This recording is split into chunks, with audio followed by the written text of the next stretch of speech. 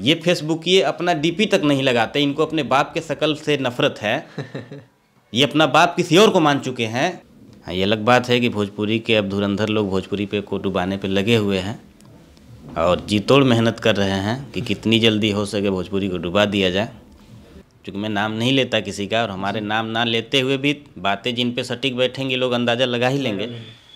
कोई ऐसा नया लड़का आज नहीं है जिसका गाना जरा सा क्लिक होना शुरू हो तो यहाँ के स्टार लोग न गा दें। वो स्टार जिनको ना पैसे की कमी है, ना नाम की कमी है, ना शोहरत की कमी है, ये चीज़ ये लोग सिर्फ़ इसलिए करते हैं कि मार्केट में कोई नया लड़का नहीं आना चाहिए। दोस्तों, नमस्कार, बहुत स्वागत है आपका हमारे चैनल लीड न्यूज़ में। मैं हूँ आप सबका शुभम सिंह और आज हमारे बगल में बहुत ही स्पेशल पर्सन बैठे हुए हैं, भोजपुरी से जुड़े। और ये जाने जाते हैं। क्योंकि उन इनमें वो कैपेबिलिटी है। हमारे साथ बैठे हुए हैं भोजपुरी के बहुत ही ज़बरदस्त लिरिसिस्ट गीतकार जिनका नाम है कुंदन प्रीत कुंदन प्रीत जी बहुत स्वागत लीड न्यूज़ में कैसे हैं? हम ठीक हैं और सबसे पहले आपके लीड न्यूज़ देखने वाले सभी श्रोता को मेरी तरफ़ से ढेर सारा शुभकामना अभी नव वर्ष बीता है। जी। और खासकर जो हमारी भोजपुरी के लोग हैं उनको हमारी तरफ़ से दिल से एक संदेश कि जो चीज़ें नहीं होनी चाहिए जो होती आ रही हैं वो सब आप लोग बंद करें और अपनी भोजपुरी को आगे बढ़ाने का काम करें। और जितने लोग भोजपुरी में आए हैं काम करने उनको काम करने दें। जी। क्या बात है। शुरुआत में ही कुंदन जी ने अपना अंदाज दिखा दिया है। अ, बता दें कि Kundan Preet ji specially sad song के लिए ही जाने जाते हैं। इनका लिखा हुआ सैड सॉन्ग इंसान को दिल तक छू देता है। इंसान के दिल तक इनका लिखा हुआ गाना टच कर जाता है। सैड सॉन्ग के लिए क्यों जाने जाते हैं? अ, क्या कभी ज़िंदगी में आपके साथ कोई दुखद घटना बीती थी? जैसे मुझे नहीं लगता कि यहाँ पे कोई भी ऐसा है जिसके साथ कोई ना कोई घटना ऐसी न रही हो जो उसको बहुत चुभती हो। तो मैं इस दुनिया से अलग तो हूँ नहीं कि वो घटना हमारे साथ नहीं बीतेगी। वो सबके साथ बीतता है। और ख़ासकर जो लोग गाँव में रहते हैं उन पे जातिगत बंधन होता है करियर का बंधन होता है। तो लगभग हमारे नब्बे परसेंट नौजवानों के साथ कोई ना कोई घटना होती है। जी। तो मेरे साथ भी है। हाँ और मुझे खुशी है उस इस बात की कि हमारे साथ वो घटना हुई कि हम अपनी चीज़ों को आज लाखों लोगों तक पहुँचा सकते हैं। और हमारे दर्द में लोग अपना दर्द ढूंढते हैं। उन सभी श्रोताओं को कुंदन प्रीत के का दिल से धन्यवाद जो लोग हमारे गीतों को सुनते हैं। आप लोग सुनते रहिए अपना प्यार आशीर्वाद बनाए रहिए। जी। आ, कुंदन जी मेरा सवाल आपसे ये रहेगा कि भोजपुरी की बात करें तो आपने बहुत लोगों को बहुत सुपरस्टार्स को गाना लिख के दिया है। रितेश पांडे जी हैं खेसारी लाल यादव जी हैं बड़े बड़े कलाकार हैं। कैसा लगता है? भोजपुरी कैसा लगता है? भोजपुरी बहुत अच्छी लगती है और भोजपुरी इसलिए नहीं अच्छी लगती कि मैं भोजपुरी से कमा रहा हूँ। भोजपुरी सच में अच्छी है। भोजपुरी उन्हें भी अच्छी लगती है जिनका भोजपुरी से दूर दूर तक कोई रिश्ता नहीं है। हाँ ये अलग बात है कि भोजपुरी के अब धुरंधर लोग भोजपुरी पे को डुबाने पे लगे हुए हैं और जी तोड़ मेहनत कर रहे हैं कि कितनी जल्दी हो सके भोजपुरी को डुबा दिया जाए। और ये वही लोग भोजपुरी को डुबाने पे लगे हैं जो भोजपुरी से गाड़ी बंगला सब कुछ बना चुके हैं। अच्छा। ये उनका करियर ख़राब करने पे तुले हैं जो अभी सपना देख रहे हैं कि हमको भोजपुरी में आना है कुछ करना है। अच्छा। जी। तो आपके माने तो हम ये कह सकते हैं कि जो न्यू कमर्स हैं न्यू आर्टिस्ट हैं उनके लिए कहीं ना कहीं खतरा पैदा हो रहा है। जी बिल्कुल। वो सारा खतरा उन्हीं के लिए है। अभी आप देख लीजिए किस हद तक लोग गिरे पड़े हैं। क्योंकि मैं नाम नहीं लेता किसी का और हमारे नाम ना लेते हुए भी बातें जिन पे सटीक बैठेंगे लोग अंदाज़ा लगा ही लेंगे।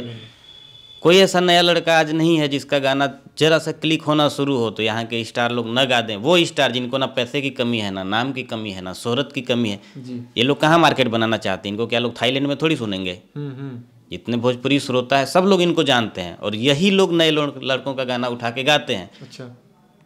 पहली बात ये लोग नए लड़कों का गाना उठा के गाते हैं उससे भी बड़ी बात क्या है कि उनके लोग आके सीना चौड़ा करके उस चीज़ को सही भी साबित करने पे दस दिन लगातार तुले रहते हैं। सही बात। ठीक है? तो अ, ऐसा आपके साथ हुआ है क्या? कभी कुंदन जी कि आपने कोई गाना लिखा कोई मैटर बनाया और चोरी करके लोग गा के बड़े बन जाते हैं? ऐसा कभी हुआ है आपके साथ?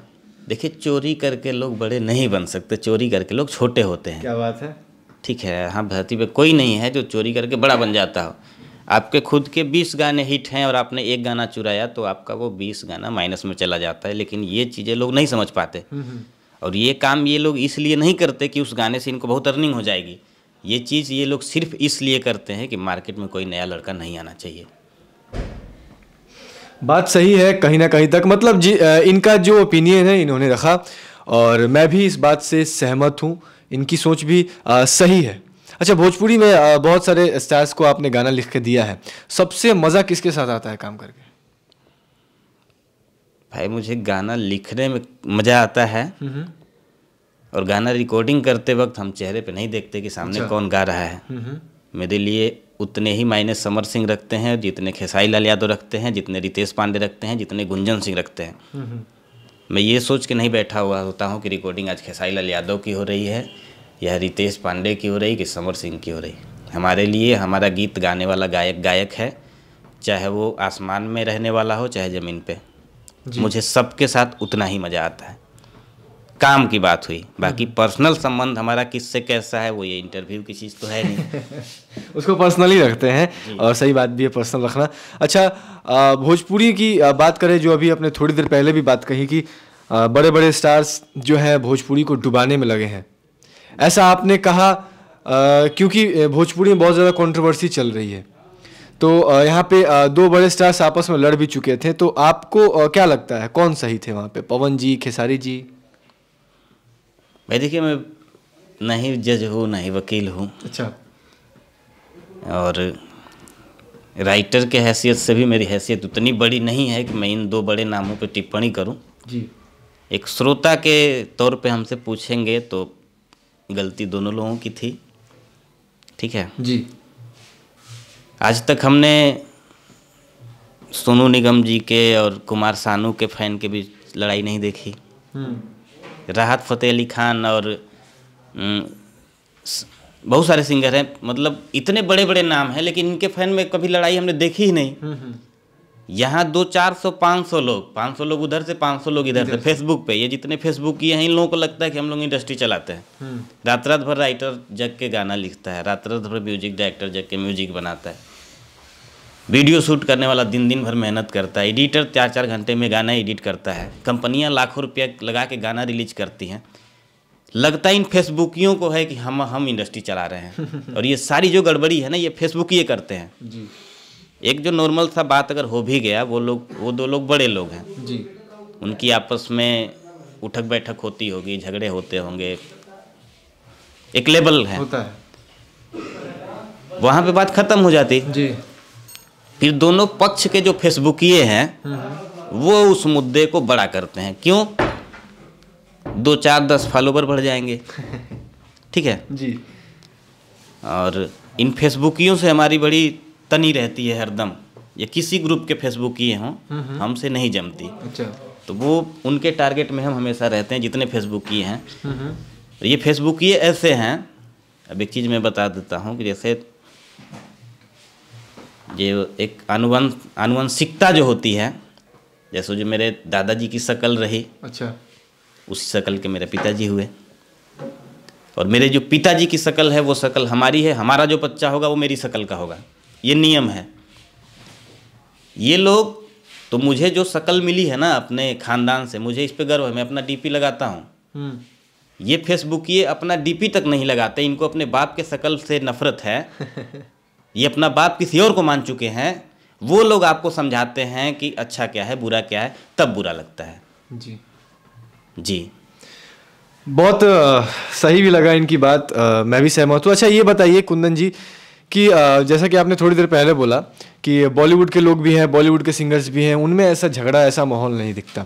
आपको क्या लगता है आपको ओपिनियन से क्या लगता है कि भोजपुरी में ही ऐसा क्यों होता है? बार बार बार बार कंट्रोवर्सीज की जाती हैं या हो जाती हैं? देखिए ये भोजपुरी में भी कंट्रोवर्सी कुछ दिनों से हुई है। हम्म। जब से कुछ महारथी लोग जब से आए हैं गोपाल राय जी थे इतना अच्छा मार्केट था उनका। भरत शर्मा जी थे राधेश्याम रसिया जी थे बहुत सारे लोग थे इनके टाइम पे तो नहीं हुआ। बहुत अच्छी पकड़ नहीं थी उस समय तभी हम लोग श्रोता तो थे ना जब ये ये लोग का मार्केट था। तो हमने तो कभी नहीं देखा इन लोगों के बीच गाली गलौज। ये कुछ लोग जब से आए हैं ये लोग क्या है समस्या क्या है ना ये गद्दी को बपौती समझ बैठे हैं। ये ट्रांसफ़र होगी। फ़सल कितनी भी मज़बूत होगी तो छः महीने में कटेगी ना? कि पाँच साल में कटेगी? नहीं नहीं नहीं सही बात तो ये ट्रांसफ़र होना है और ये जिनकी गद्दी जाने वाली है जिनकी जिनकी गद्दियाँ जाने वाली जाएँगी ही। पाँच साल पे चुनाव तो होता है ना? तो ये जिनकी जिनकी गद्दियाँ जाने वाली हैं वो कुछ भी करके उस गद्दी पे काबिज रहना चाहते हैं समस्या ये है। अच्छा। ये इस बात को मानने को राज़ी नहीं है कि ये फिक्स नहीं है ये बदलती रहती है। अच्छा एक और बात। भोजपुरी में कंट्रोवर्सी तो एक तरफ़ है। एक तरफ़ हमारी भोजपुरी का लेवल भी बहुत ज़्यादा बढ़ रहा है कि बॉलीवुड लेवल के गाने बन रहे हैं। पवन जी हो या फिर खेसारी जी हो बड़े बड़े गाने प्रोजेक्ट्स ला रहे हैं बड़े बड़े musicians writers music directors Bhojpuri में आ रहे हैं काम करने के लिए। आप भी सुनते हैं बहुत सारे बॉलीवुड सॉन्ग्स हैं। आपको कैसा लगता है? यानी बहुत अच्छी बात है। भोजपुरी में बड़े बड़े लोग आते हैं काम करते हैं। भोजपुरी में वो लोग बड़े लोग आके काम नहीं करते। या आपने जो कहा ना उसको थोड़ा सा उल्टा करिए। अच्छा। वो हिंदी वाले भोजपुरी में आके काम नहीं करते। ये भोजपुरी वाले अपना कद बढ़ाने के लिए वहाँ जाते हैं। अच्छा। उनको अच्छा खासा पैसा ऑफ़र करते हैं। ठीक है? तब वो अच्छा खासा पैसा लेकर आपकी भोजपुरी में काम करने आते हैं। ऐसा आपने कभी नहीं सुना होगा कि हिंदी के इस कलाकार ने भोजपुरी में काम करने की इच्छा ज़ाहिर की है। ऐसा एक भी बयान हमने किसी का सुना नहीं है। और ये लोग पब्लिक के लिए काम नहीं कर रहे हैं। ये लोग पब्लिक के लिए काम नहीं कर रहे हैं। ये लोग आपस में अपना कद बढ़ा दिखाने के लिए हम उनको दिखाएँगे कि हम आपसे बड़े हैं वो हमको दिखाएँगे कि हम आपसे बड़े हैं। इसलिए काम हो रहा है। नहीं तो इसी आपको जो लोग बोल रहे हैं भोजपुरी का लेवल बढ़ा हुआ है। बहुत अच्छी बात है। खुशी की बात है भोजपुरी का लेवल बढ़ना भी चाहिए। जी। भोजपुरी के जितने टॉप म्यूज़िक डायरेक्टर हैं आप उनके यहाँ जाइए उनका इंटरव्यू करिए। और जितने आपको लगता है कि जो टॉप के राइटर उनसे मिलिए उनसे ये भी पूछ लिए कि आपका पेमेंट कितना है। भोजपुरी का लेवल तो बहुत बढ़ गया। तो भोजपुरी का लेवल बढ़ने का मतलब कि भोजपुरी के हर एक कार्यकर्ता का पेमेंट बढ़ जाना चाहिए। तो आप कभी म्यूज़िक डायरेक्टर राइटरों से मिलिए उनसे भी पूछिए कि आप लोगों का पेमेंट कितना बढ़े क्योंकि भोजपुरी में तो बड़े बड़े लोग आने लगे हैं। आप लोगों का भी कुछ हुआ कि नहीं हुआ? अच्छा। जी। तो पेमेंट की बात है तो आपके कहने के अंदाज से तो मुझे साफ़ पता चल गया कि इसमें कहीं ना कहीं कमी है। तो इतना कम पेमेंट भी मिलता है फिर भी आप भोजपुरी में काम कर रहे हैं। क्यों ना बॉलीवुड सिंगरों को लिरिक्स लिख के दें गाने लिख के दें। देखिए हमारी जो पृष्ठभूमि रही है ना मैं यूपी का रहने वाला हूँ। जी। ठीक है। बड़ी मुश्किल से बनारस तक पहुँचा हूँ। हम्म।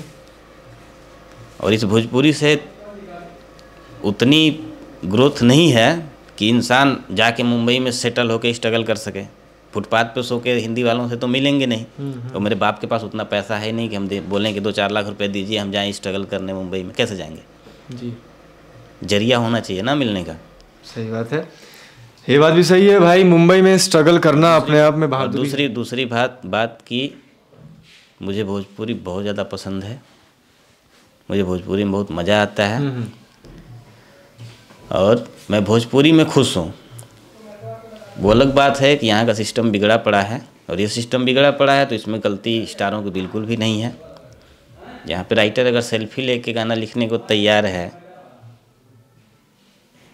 स्टार के गाड़ियों में घूम के गाना लिखने के लिए तैयार है, उस, उसमें हमें लगता है कि हम बड़े हो गए तो फिर वही स्टार किसी दूसरे राइटर को पैसा क्यों दे? जो काम फ्री में हो रहा है हमारा, उसके लिए हम पैसा क्यों खर्च करने जाएँ? अच्छा। जी। तो भोजपुरी इंडस्ट्री की कुछ रियलिटीज़ भी बताई यहाँ पे कुंदन प्रीत जी ने जो कि सुनकर काफ़ी बुरा भी लगा क्योंकि सबका एक अपना अपना लेवल होता है और सब सबको उस लेवल पे कायम भी रहना चाहिए। तो आपको भोजपुरी जैसे कि आपने बताया भोजपुरी बहुत पसंद है। भोजपुरी में कौन पसंद है आपको? आपके फेवरेट कलाकार आर्टिस्ट जैसे क्या है हम जहाँ बैठे हैं ना हम्म। समस्या ये ये भी है कि अब ये भी नहीं बता सकते कि हम किनको पसंद करते हैं। ढाई हज़ार गालियाँ बढ़ जाएँगी आपके कमेंट में। ठीक है। तो जिनको पसंद करते हैं वो हमारे भीतर ही रहने दीजिए। ठीक है। बाकी काम हम सबके साथ करते हैं सारे कलाकार अच्छे हैं। अच्छा। जी। आदर्श किसको मानते हैं? कुंदन प्रीत जी आप किसकी लेखकी किसको किसकी पसंद करते हैं? किसकी लेखकी पसंद करते हैं? एक दो लोगों की करते थे वो लोग हमारा ही गाना चुरा लिए फिर तब से नहीं करते। ये ये बात भी सही है। इसका एक मतलब एक दो लोग को आदर्श मानते थे। अच्छा। वो लोग हमारे गाने पे जब से हाथ साफ़ कर गए तो फिर हम फिर किसी को आदर्श नहीं मानते। अच्छा। जी। बड़ा राइटर मानते हैं सबको। हम्म हम्म। आदर्श नहीं मानते किसी को भी। वाह। जी। घर परिवार से कितना सपोर्ट मिलता है आपको कुंदन जी? इस्टेब्लिश हो जाने के बाद जितना सबको मिलता है उतना आज हमको मिल रहा है। शुरू में जितनी समस्याएँ सबको होती है वो हमको भी झेलनी पड़ी थी। घर से झेलनी पड़ी थी रिलेशन से झेलनी पड़ी थी गाँव से झेलनी पड़ी थी। हम्म। हाँ लेकिन इतना था कि कुछ भी हो जाए करेंगे तो यही। अच्छा। हाँ। तो आगे का जो करियर है उसको किस वे में लेके चलना चाहते हैं? मेरे काम करने का तरीका अलग है। अच्छा। कुछ लोग सेल्फी लेके खुश हैं कुछ लोग ब्लॉग बना के खुश हैं कुछ लोग बड़ी बड़ी गाड़ियों में घूम के खुश हैं। मैं अपने सिंपल से स्प्लेंडर से चलता हूँ हमको शौक नहीं है किसी गाड़ी में घूमने का। और लगभग इंडस्ट्री से मैं नब्बे परसेंट साइड भी हो चुका हूँ। अच्छा। अपने इस मुद्दे के कारण कि मुझे पैसा चाहिए। हम्म हम्म। अपने गाने लिखने का। इसका मतलब आपको बहिष्कार किया जाता है? कि कुंदन कुंदन प्रीत आप जैसे बाकी लोग फ्री में लिख देते हैं इंडस्ट्री का इतना बुरा हाल हुआ पड़ा है ना हाँ हाँ। कि आप मजदूरी करके ये बोल देंगे ना कि हमको मजदूरी चाहिए तो सामने वाले स्टार को बुरा लग जाएगा कि इस- लगता है इस पैसे की बात करने लगे हैं इनमें एटीट्यूड आ गया आ गया तो इस स्तर तक गुलामी हावी है इंडस्ट्री में इस स्तर तक कि आज के टाइम में राइटर म्यूज़िक डायरेक्टर दस बीस गाना करके हक से फ़ोन नहीं कर सकता कि बीस गाना हो गया इतना पैसा हमारा इस हिसाब से भेज दीजिए। अच्छा। नहीं बोल सकता। नहीं बोलते हैं लोग। हाँ। तो अ, कुंदन जी आपसे एक प्रश्न मेरा ये है कि जैसे कि आपने बोला कि मुझे नब्बे परसेंट लोग साइड भी हटा चुके हैं तो आगे की लड़ाई लड़नी है? परसेंट लोग साइड नहीं हटा चुके नब्बे परसेंट लोगों से हम खुद साइड हो चुके हैं। खुद साइड हो चुके हैं। जी। ओके। तो अ, आगे की जो लड़ाई है लड़नी है या फिर छोड़ देनी है? नहीं नहीं छोड़ना होता तो आते ही नहीं। अच्छा। हाँ। क्या बात है? तो एक बात बताइए। मुझे मुझे नहीं लगता ना सबसे बड़ी बात क्या है कि मुझे नहीं लगता कि हमारा कैरियर कुछ चंद लोगों की वजह से चलता है। मुझे इस बात पे गर्व है कि मैं उत्तर प्रदेश में पैदा हुआ। जी। मैं एक किसान का बेटा हूँ और किसान की जो सबसे बड़ी प्रॉपर्टी होती है वो होता है उसका स्वाभिमान और किसान को पता होता है कि उसको फ़सल कर एक फ़सल बिगड़ेगी दूसरी बनाएँगे। हमको हमको हम किसान हैं ना भाई? जी। हम अभी बहुत सारी फ़सलें देखें ये फ़सलें हैं। ये सारे लोग फ़सलें हैं और इन पे मैंने इन लोगों इंडस्ट्री के लिए मैंने कुछ लिखा है। अच्छा। हम सोच चाहते हैं कि आप लोगों को हम ज़रूर। सुनाएँ कि इंडस्ट्री के लिए हमने दो चार लाइनें लिखी थी कि जो समर्पित थे उनको अनजान कर दिया। अच्छा। जो समर्पित थे उनको अनजान कर दिया। उनको अनजान कर दिया और खुद खुद को महँगा उनको सस्ता सामान कर दिया। और सब कुछ बदल के रख दिया बस एक सोच ने फ़सलों को लगता है किसान पे एहसान कर दिया। क्या बात है। ये समस्या है यहाँ की। क्या बात है। और हमारे कुछ राइटर लोग हैं कुछ टेक्नीसियन हैं उनके लिए कि जो चिल्ला करके बोल रहे हम हस्ती हैं दरबारों में। हम्म हम्म, खुद को हस्ती बताने वालों वाले भाइयों के लिए। अच्छा। बुरा लगे तो माफ़ी चाहता हूँ लेकिन ये सच है कि वो चिल्ला करके बोल रहे हम हस्ती हैं दरबारों में। अच्छा। और देखे हमने सर झुके हुए थे उनके ही दरबारों में। क्या बात और बेगैरत बन के ऊपर तो तुम चढ़ जाओगे सीढ़ी से। कभी सोचा है क्या बतलाओगे आने वाली पीढ़ी से? वाह क्या बात तो इंडस्ट्री में रहेंगे चाहे नहीं रहेंगे। हम्म। झुकेंगे नहीं। क्या बात है यार। और मेरे झुकने का मेरे ना झुकने का ये भी मतलब नहीं है कि हम सब किसी का सबका सम्मान है हम सबका बहुत सम्मान करते हैं। एज ए श्रोता हमने आप लोगों को सुना है आप लोग बहुत बड़ी चीज़ है। लेकिन आप लोगों के साथ काम करके पता चला कि आप लोग कितनी बड़ी चीज़ हैं। जी। आ, ये बताइए कि आपको पता है कि लेखकी में अभी जैसा कि आपने बताया कि आ, ना सही से पेमेंट है और ना लोग उतना वैल्यू देते हैं तो लेखकी ही क्यों चुना आपने? गायकी भी चुन सकते थे अभिनय भी कर सकते थे। ये बिज़नेस नहीं है भाई मेरे। इस लाइन में आना बिज़नेस सोच के इस लाइन में कोई नहीं आता जी। कि गायकी में बड़ा पैसा है चलो यही बिज़नेस करते हैं। अच्छा। राइटरी में पैसा यही बिज़नेस करते हैं। कलाकार जो होता है ना जैसे गॉड गिफ्टेड होता है। हम चाह के भी अपने लड़के को राइटर नहीं बना सकते। अगर राइटिंग में बहुत पैसा भी होता है मान लीजिए अथाह पैसा होता राइटिंग में तो भी हम अपने लड़के को राइटर नहीं बना सकते थे। राइटर हमारा लड़का तभी बन पाता जब वो चाहते। हमको उन्होंने चाहा है कि हम लिखेंगे तो हमने लिखा है। ये सच्चाई है। ये बिज़नेस होता बिज़नेस सोच के थोड़ी आए थे कि गाना लिखेंगे कमाएँगे। नहीं? शौक था। शौक था। अच्छा आ, आ, मैं आपसे कहना चाहूँगा कि प्लीज़ बहुत सारे लोग भी आपको देख रहे होंगे इस वक्त तो उनके लिए आ, क्या कहना चाहेंगे? जितने लोग देख रहे हैं उनके लिए यही संदेश है हमारा कि आप लोग सबको सुनिए। और कोई ज़रूरी नहीं है कि आप लोग सबको सुनिए आप लोग जिसको पसंद करते हैं उनको सुनिए समझिए लेकिन जिसको नहीं पसंद करते हैं उसको गाली मत दीजिए। कोई भी स्टार एक दो लोगों के चाहने से नहीं बना है किसी भी स्टार को लाखों लोगों ने चाहा है तो वो स्टार बना है। आप उसको नहीं पसंद करते तो आप उसको गाली दे के उन लाखों चाहने वालों का अपमान मत करिए जो लाखों लोग उनको चाहते हैं। आप किसको पसंद करते हैं वो आपका हक है लेकिन आप किसी पे दबाव नहीं बना सकते कि तुम भी उन्हें पसंद करो। जी। जी। बहुत खूब। और अब इस इंटरव्यू को भी यहाँ पे ख़त्म करेंगे और ख़त्म करने से पहले कुंदनप्रीत जी आपको बहुत बहुत धन्यवाद कि आपने इतना कीमती समय दिया हमारे लिए। तहे दिल से धन्यवाद। और प्लीज़ इस वीडियो को बहुत ज़्यादा शेयर करिएगा क्योंकि इसमें जो भी बातें हुई बहुत अच्छी लगी और सही मुद्दों से जुड़ी बातें थी। तो आज के लिए इतना ही। सबको नमस्कार धन्यवाद।